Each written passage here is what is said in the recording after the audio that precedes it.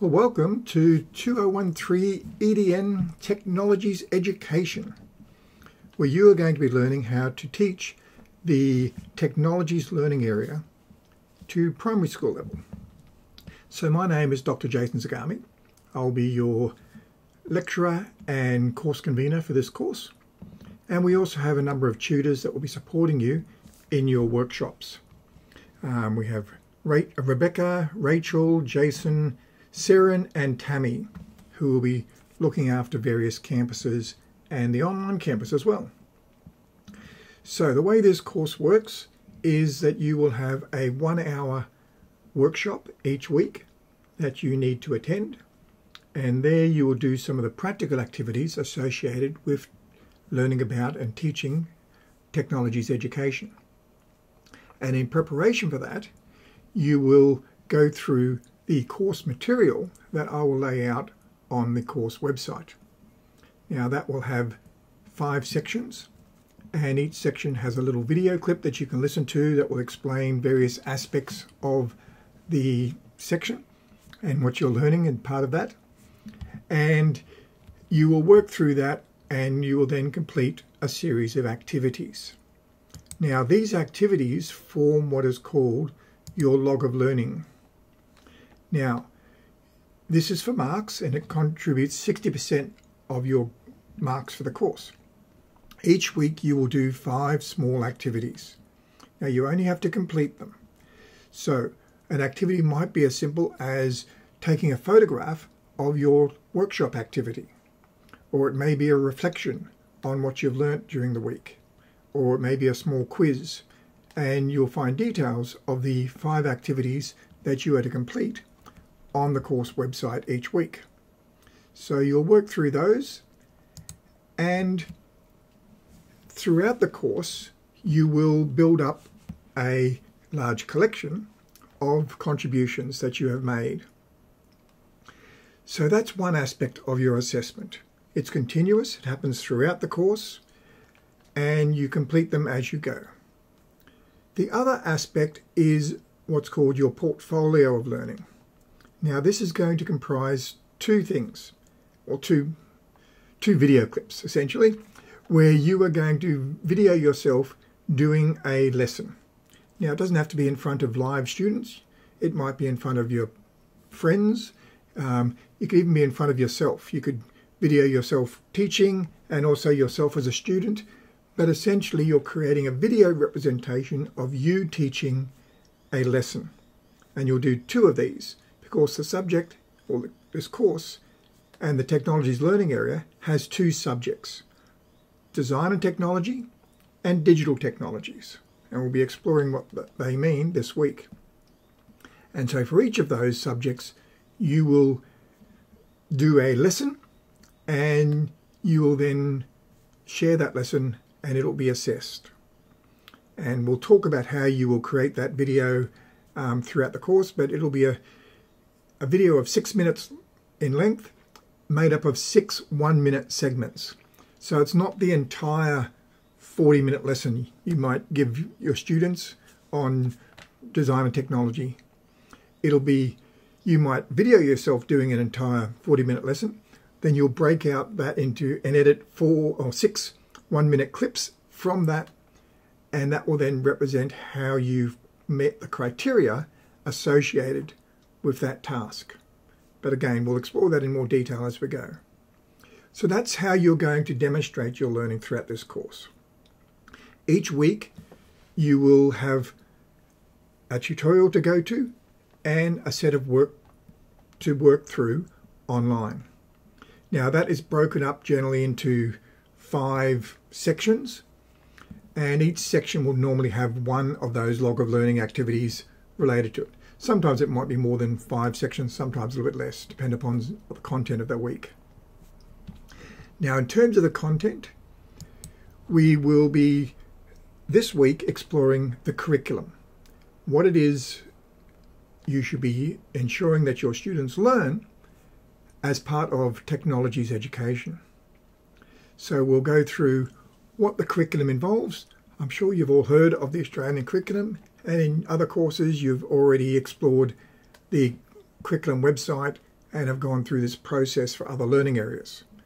We'll be doing it for the technologies learning area, which is, again, I said, made up of two subjects, design and technology and digital technologies. Now, what this course is not is about you learning how to use technology. In first year, you did a course where you learnt about educational technologies and how you could utilize technologies to improve your teaching. It's not about that. We will do some of that as a natural process of doing various things, such as learning how to do video clips and make your videos.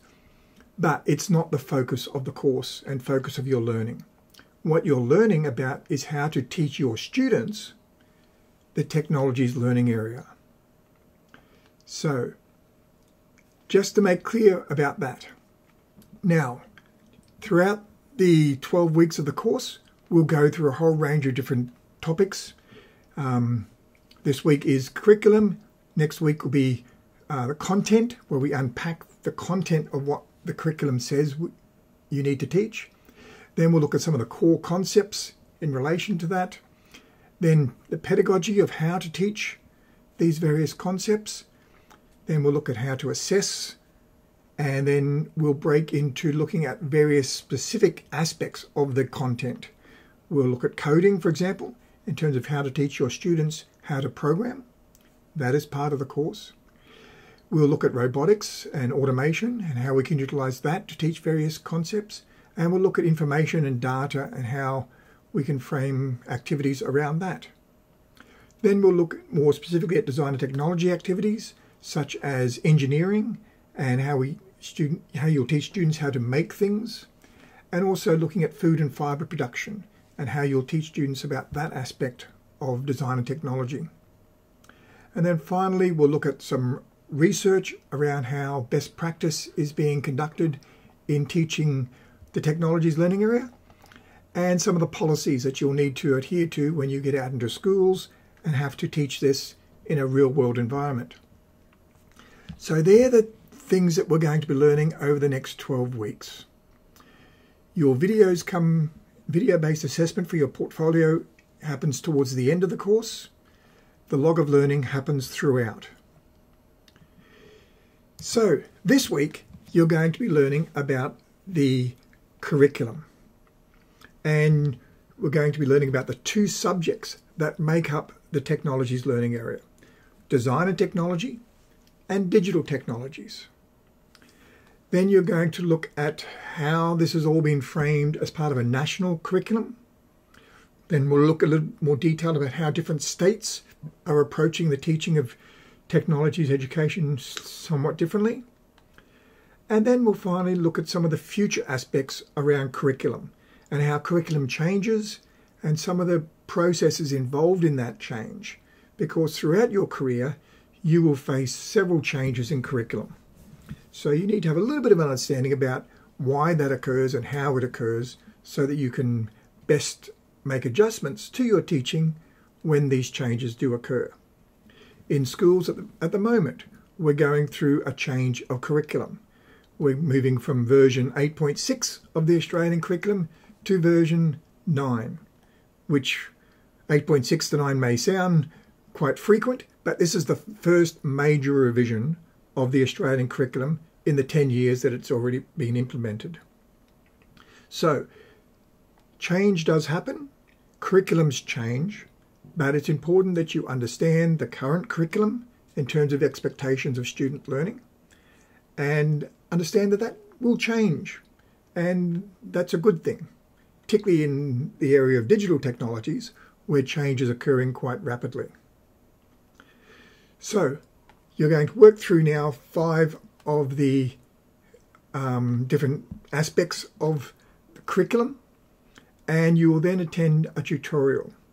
Now the tutorials are focused primarily on some practical aspect that you need to be able to um, show that you can do. So very much modeling what you may do with your own students. So it may be involving making an, making something or building something or designing something. And this week, if you're in the um, Gold Coast and Mount Gravatt groups, you will be learning about small robotic devices called BeeBots and how we can use those to teach students various concepts to do with designer technology and also digital technologies. If you're in the online cohort, you'll be using an online simulation of these BeeBot robots to do the same process. And your tutors will assist you with that. Now, we do have some limitations on equipment, and so we don't always have the facilities to be able to do everything the same on all of our campuses. And for this week, for example, our Logan group will be creating towers and learning about the processes of designing and building um, towers and using earthquake simulators to simulate um, the stability of those towers and the design process around constructing the, the most effective tower. So these model the processes we go through and you'll find this in the curriculum documents as you explore them. There'll be a range of different example activities. We call those elaborations.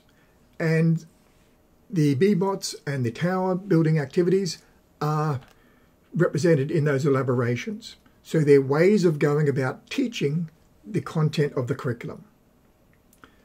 We'll get into more about that in a little bit. But that's an overview of what you're going to be doing this week and an overview of the course. If you've got questions, you can of course ask your tutors in the tutorials. If you've got questions about assessment, you should ask that to myself. And I've set up a discussion forum on the course website for you to be able to ask those questions. And there's also a, section there to ask more general questions. So not necessarily about the assessment, but about technologies education in general. But remember, assessment questions, please direct those to myself so that we have just one voice on assessment and everyone hears the same, just so that there's no confusion that may arise if there are multiple voices around assessment. Okay, so the course material will become available on Saturday each week, and then you'll work through that in the week leading up to your tutorials or your sorry your workshops on Thursdays and Fridays, and then you'll have that experience of practical activities in relation to the content that you've been exploring throughout the week. That's it for now.